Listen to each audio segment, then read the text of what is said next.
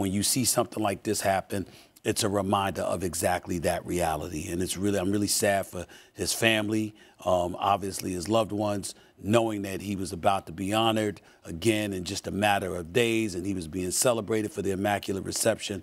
For us to sit here this morning anticipating that and having every reason to anticipate that because we saw him yeah. and we heard from him, particularly on your radio show, and he was in, and he seemed in good health.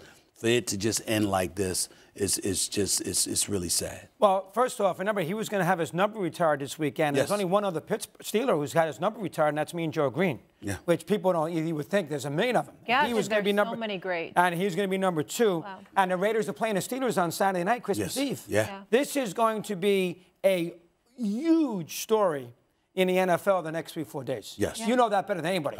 First off, they got games on the Christmas holiday. You got Raiders, Steelers on Christmas Eve. Yeah. That's right. The Steelers are a huge franchise. When you saw all those I think yellow... Michael Irvin was going out to cover I believe that so. game. I believe so. I, feel, I, believe so. I'm not sure, but I believe he was so. going to Pittsburgh yeah. for that. Uh, I remember when you see all the yellow towels. Did you see the Carolina game this past week? Yes. The place yeah. was fully yellow. Yes. Where'd that start?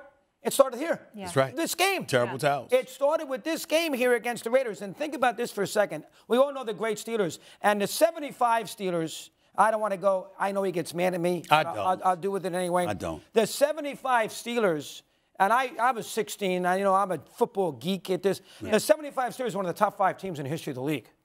Yeah. I mean, the 75, the Dolphins, you can come up with the Niners, yeah.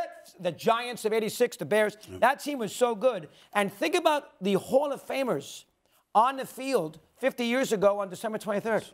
The Steelers had a million of them. How about the Raiders? Yeah. Madden's in the Hall of Fame.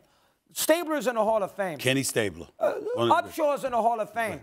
Art Shell's in the Hall of Fame. Yeah. Uh, Willie Brown's in the Hall of Fame.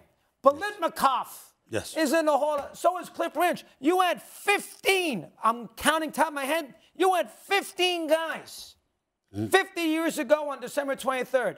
15 players on the field at the same time in a playoff game right. who are in the Hall of Fame. And by the way, back then. I mean, you, you, I mean, the kind of stuff. These guys would be arrested in today's game. Oh. You know, for the kind of stuff that happened on the field oh, yeah. back then. I mean, the kind it's of stuff that gets time. flagged now. Oh my lord! Back then, please. And by the way, you bringing this up you know, as an aside, I have no idea why Terry Bradshaw's number has not been retired. Oh, I totally agree. I have no what idea. Terry Bradshaw is a four-time yeah, Super Bowl champion. A shocking a number joke. by you to know that only one. So, well, they, they, will get around to it, yeah. but get around to it quicker. Yeah, yeah. Terry Bradshaw is here, and he's on television right. doing a great job. I, I might add that what he's a four time Super Bowl yeah. champion. That man deserves his number retired in Pittsburgh a long, long time ago.